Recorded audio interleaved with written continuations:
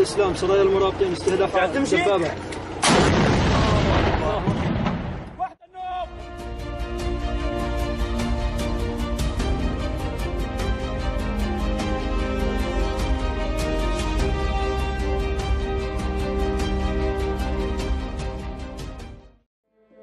Kindness is the word that inspired Emmy Award winning filmmakers Kahane Cooperman and John Hoffman to make The Antidote, the documentary focuses on how American communities across the country are coming together in times of need. My name is O'Connell. I'm Dr. O'Connell.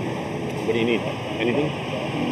I need mental health. Dr. James O'Connell, founder of Boston Healthcare for the Homeless, goes out in the streets to treat homeless people. I'm Russell. I work here at the college. Tell me your name again. In Amarillo, Texas, Russell Lowery-Hart, president of Amarillo College, helps underprivileged students manage their personal lives, thrive academically, and escape generational poverty.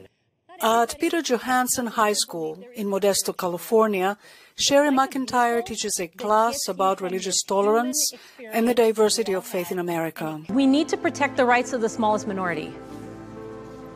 Because in doing that, we're protecting our own rights. We can't get too comfortable. We have to stand up for each other. The stories go on and on. We came up with six questions that completely informed our creative process, which are how do we raise our children? How do we teach our children? How do we take care of the sick and the dying? How do we live and work together? How do we welcome the stranger? And how do we lead?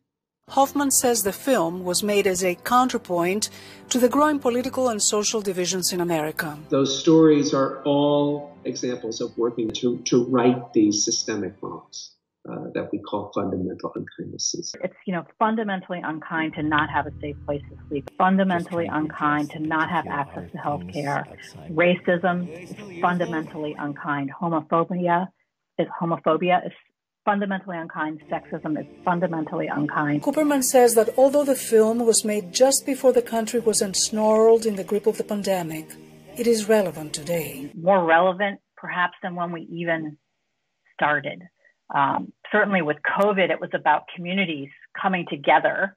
Such as how communities in Anchorage, Alaska are welcoming African refugees, or how elderly communities in Portland, Oregon are caring for children in foster care. The filmmakers hope the documentary inspires people to reach out to one another and to feed the force of good rather than fan the flames of hatred and divisiveness.